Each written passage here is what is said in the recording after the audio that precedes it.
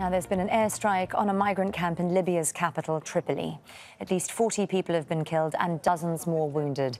The area has seen fighting between the forces of warlord Khalifa Haftar and those loyal to the internationally recognized government. Our correspondent Mahmoud Abdelwahed is there with all the details. This is the uh, migrants detention center in Tajoura neighborhood in the eastern suburb of the Libyan capital, Tripoli. It has just been hit by an airstrike launched by a fighter jet loyal to the warlord Khalifa Haftar. It's very tragic here. Dead bodies are still under the rubble. I can see dead bodies over there.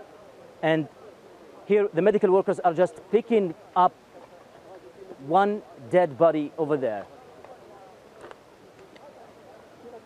This, this detention center, according to the supervisors here, there were about 150 uh, migrants here in this detention center from different nationalities, including African uh, nationalities. And uh, uh, it seems that the airstrike was very precise, that it hit the center, the center of the detention center. This is the crater of the airstrike.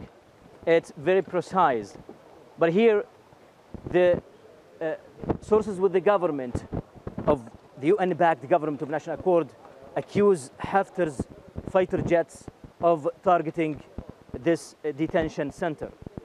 Here, uh, supervisors here say that they have managed to transfer those who made it, the other migrants who are still alive to other areas. But there is yet there is a still a state of panic among the other migrants and also among civilians who live near, nearby. They say that this explosion was huge uh, we can see uh, ambulances just rushing here to uh, pick up the dead bodies and transfer the casualties to a medical center.